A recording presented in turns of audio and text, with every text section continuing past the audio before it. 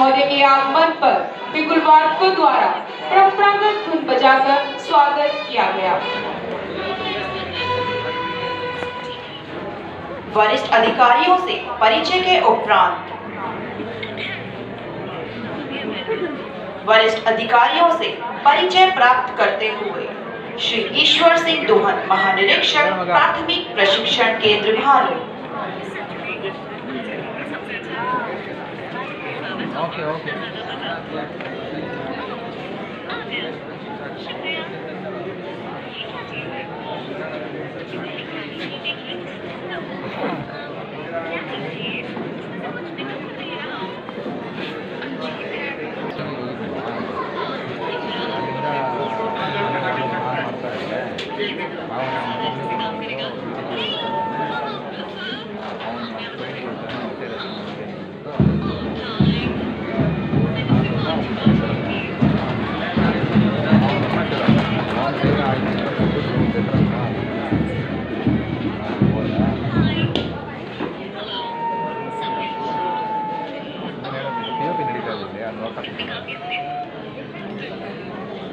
द्वारा अतिथि महोदय का जनरल सैल्यूट के साथ अभिनंदन कर किया गया परेड कमांडर जोशीले अंदाज में परेड की रिपोर्ट देने तथा निरीक्षण का आग्रह करने के लिए चुस्त कदमों से सलामी मंच की ओर बढ़ते हुए अरे सुनो भाई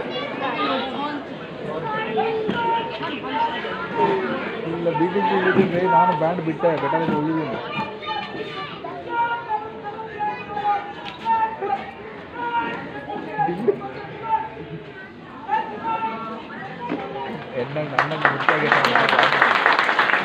परेड कमांडर का आग्रह स्वीकार करने के उपरांत मुख्य अतिथि महोदय श्री ईश्वर सिंह दोहन महानिरीक्षक, प्राथमिक प्रशिक्षण केंद्र भानु श्री राजेश शर्मा, उप महानिरीक्षक। परेड कमांडर की अगुवाई में परेड का निरीक्षण करने एवं सैन्य हिमवीरों को अपना आशीर्वाद और सानिध्य देने के लिए सुसज्जित वाहन पर सवार होकर परेड ग्राउंड की तरफ़ अग्रसर। श्री ईश्वर सिंह दोहन महानिरीक्षक, भारत तिब्बत सीमा पुलिस बल का जन्म 17 जुलाई उन्नीस को सीमा पुलिस बल में 36 वर्ष से ज़्यादा समय की सेवाएँ दे चुके हैं। आपने भारत तिब्बत सीमा पुलिस बल में भारत चीन सीमा को लगते लद्दाख, हिमाचल प्रदेश, उत्तराखंड, सिक्किम, अरुणाचल प्रदेश, कराकोरम पास से किबुतु अरुणाचल प्रदेश एवं आतंकवादग्रस्त नक्सल प्रभावित क्षेत्र जम्मू कश्मीर, आंध्र प्रदेश में सेवाएँ दी हैं। आपने वर्ष उन्नीस से उन्नीस सौ अट्ठानवे तक United Nation peace keeping mission में बोस्निया एंड हर्जेगोविना में भी अपनी सेवाएँ दी हैं, जहाँ पर आपके द्वारा बॉर्डर कंट्रोल मैनेजमेंट एवं ह्यूमन राइट्स का प्रशिक्षण बोस्निया एंड एवं हर्जेगोविना पुलिस को दिया गया। आप राष्ट्रीय स्तर की आपदा प्रबंधन संस्थान शिक्षक प्रशिक्षण के रूप में दो वर्षों तक कार्य किया है। वर्तमान में आप दिसंबर 2021 से भानु पंचकुला में प्राथमिक प्रशिक्षण केंद्र का बतौर मुखिया नेतृत्व कर रहे हैं। आपके कुशल नेतृत्व में यह संस्थान अपनी स्थापना की हीरक जयंती मना रहा है तथा पिछले एक वर्ष में संस्थान द्वारा विभिन्न प्रकार के राष्ट्रीय स्तर के कार्यक्रमों का भी आयोजन किया गया। आपको अपने सेवा कार्य की सेवा के लिए नौ महानिदेशक प्रशस्ति पत्र एवं प्रतीक चिन्ह से सम्मानित किया गया है।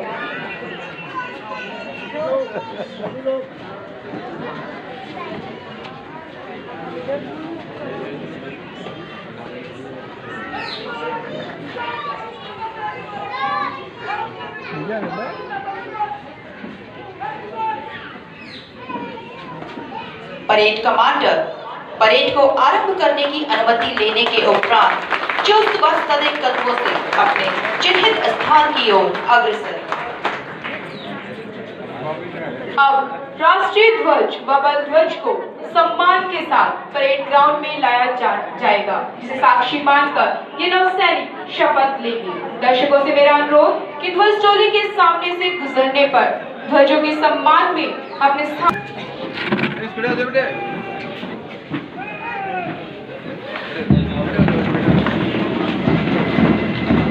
ध्वज टोली सलामी मंच के दाहिने किनारे से परेड मैदान की ओर आ रही है, जिसका नेतृत्व कर रहे हैं निरीक्षक जिली नवीन फोगाट।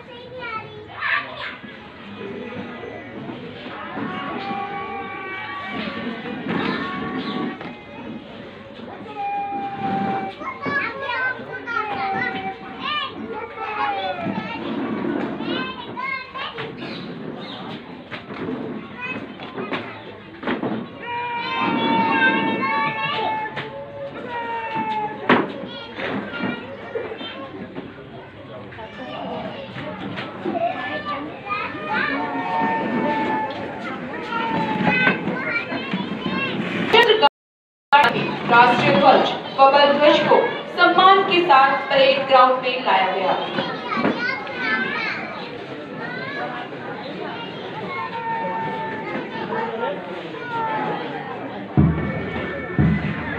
राष्ट्रीय ध्वज व बल ध्वज को साक्षी मानकर ये नौसैनिक अपने हाथों को उठाकर आज शपथ ले रहे हैं। भारत माता की सुरक्षा को और भी मज़बूत करने की इन ध्वजों को साक्षी मानकर प्रण कर रहे हैं कि हम अपने देश की आन बान व शान को कम नहीं होने देंगे। चाहे प्राणों का बलिदान ही क्यों ना देना पड़े।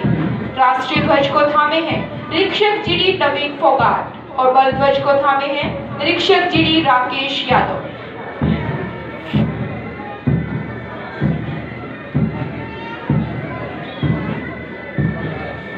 यू ही लहराता रहे सबसे ऊँचा जहाँ में तू। यू ही लहराता रहे सबसे ऊँचा जहाँ में तू। हिमालय से ऊँची तेरी शान हो। कुर्बानियों से पाया है तुझे खातिर तेरे अपना बलिदान हो। ध्वजधारी, मैदान के मध्य में शपथ दिलाने जा रहे हैं श्री परसोत्तम सिंह ठाकुर, उपसेनानी प्रशिक्षण प्राथमिक प्रशिक्षण केंद्र। मैं ईश्वर की शपथ लेता हूँ कि